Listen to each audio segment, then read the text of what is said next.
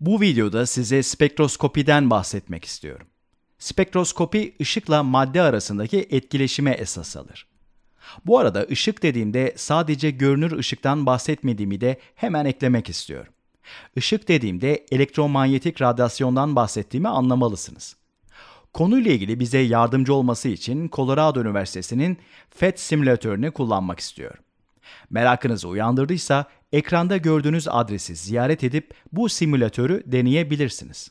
Simülatör, elektromanyetik radyasyonun farklı dalga boylarının maddeyle nasıl bir etkileşime girdiğini gösteriyor.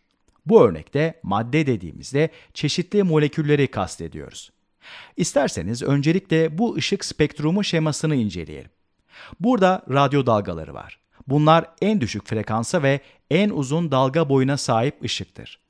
Frekans arttıkça mikro dalgaya geçiyoruz. Bu arada frekansın artması fotonlardaki enerjinin de artması anlamına gelir.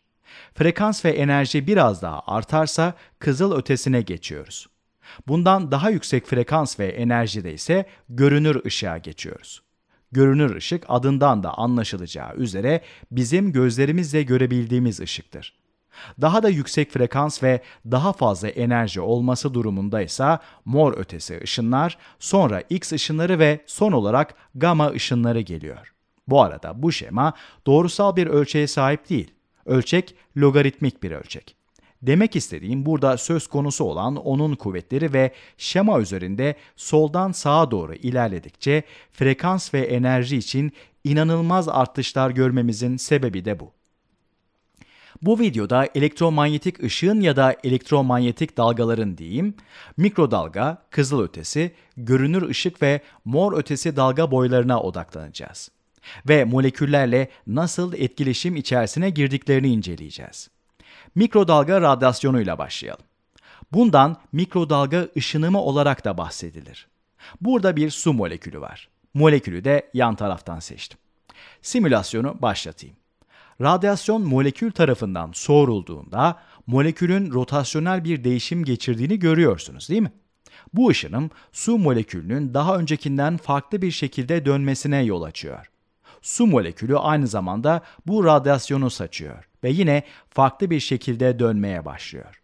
Tüm bunların her seferinde gerçekleşmediğini, yani işin içinde bir olasılık hesabı olduğunu da eklemem lazım.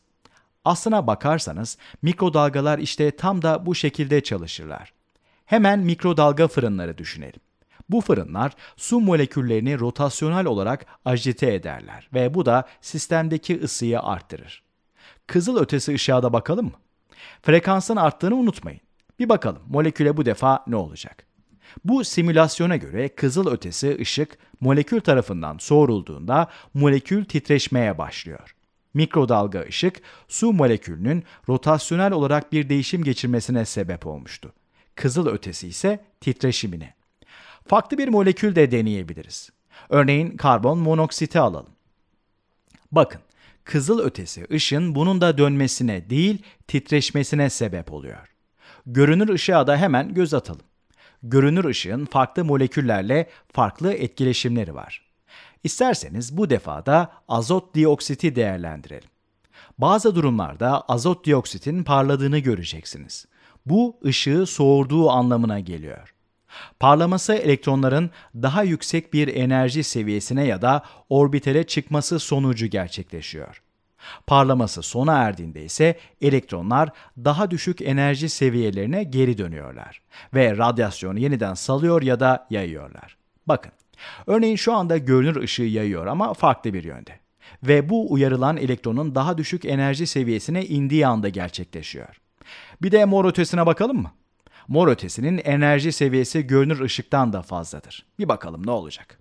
Bakın, bazı durumlarda elektronları o kadar uyarıyor ki bağların koptuğunu görüyoruz. Başa alayım. Görüyorsunuz değil mi? Mor ötesi ışık bağları koparabiliyor. Ozona da ne olduğuna bakalım. Aynı şey. Elektronlar o kadar çok uyarılıyor ki bağlar kopuyor. Başa alacağım. Gördünüz değil mi? Mikrodalga ışınımı moleküllerde rotasyonel bir değişime sebep oluyor. Su molekülünü örnek olarak kullanmıştık.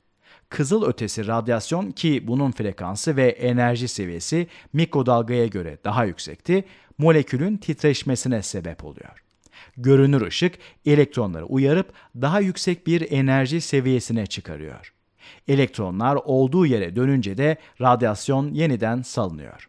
Son olarak mor ötesi ışınımda yüksek enerji seviyesiyle elektronları çok daha fazla uyarıp bazı durumlarda kovalent bağların kopmasına bile sebep oluyor.